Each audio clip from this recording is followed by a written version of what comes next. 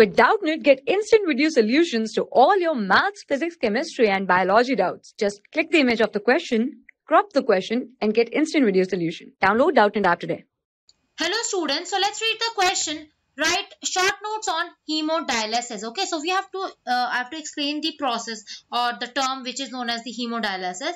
When we talk about hemodialysis, it is uh, it is simply a dialysis method. Okay, which is basically helping uh, purifying uh, the blood. It helps in purifying blood of a person if its kidney is not properly working. Okay okay.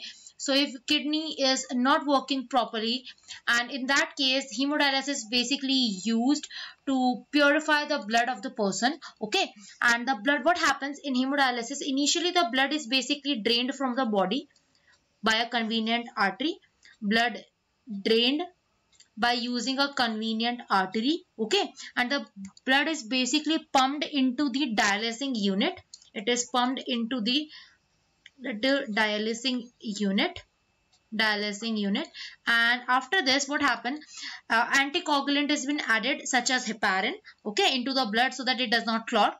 And the unit contains a coiled cellophane cellophane tube okay which is surrounded by a dialysing fluid. Okay so after that what happened? Uh, the porous cellophane membrane of the tube allows the passage of molecule along the concentration gradient. So we have a cellophane tube here which is basically uh, surrounded by a dialysing fluid. Okay and the concentration of this dialysing fluid is same as that of plasma. Okay except for the nitrogenous waste it does not have the nitrogenous waste. Okay uh, so what happened? The porous cellophane membrane, uh, which is present in the cellophane tube, the membrane which is present in this tube, basically what it does, it allows the passage of molecule on the basis of concentration gradient. So molecules are being allowed on the basis of their concentration gradient, whether from a lower or higher to a concentration gradient okay?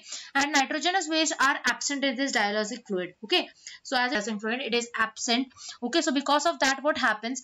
The substance can easily move freely out of this into the dialysing fluid and help this can basically help in clearing the blood and the blood is basically then pumped out uh, or pumped in or pumped back into the body of the organism or the person we can say by a particular vein by adding antiheparin okay? After that antiheparin that is the is basically added okay?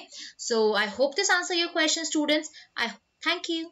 For class 6 to 12 IIT JEE and NEET level. Trusted by more than 5 crore students. Download Doubtnut app today